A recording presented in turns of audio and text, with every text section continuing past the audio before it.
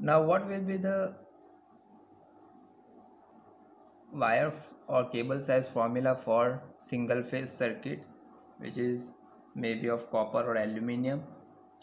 So the formula is given as wire circular mil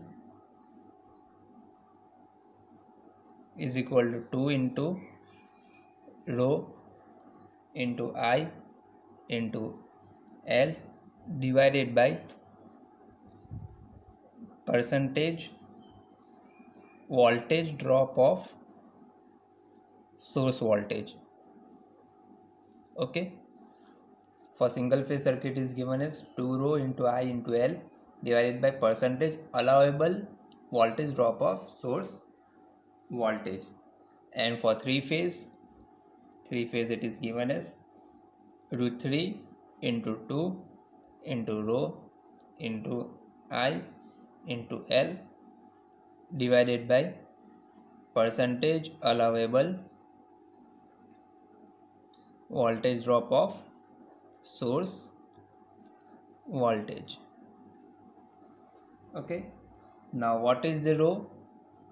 It is nothing but the specific resistance. Specific resistance or resistivity of the conductor d is equal to distance in feet.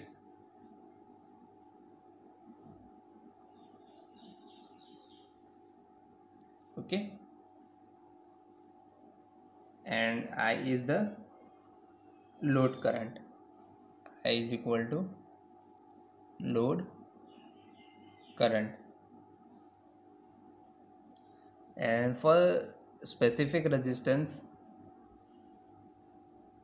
of a conductor for copper and aluminium is for copper it is 11.2 and for aluminium it is 17.4 okay so this is the formula for calculating the wire or cable size of the formula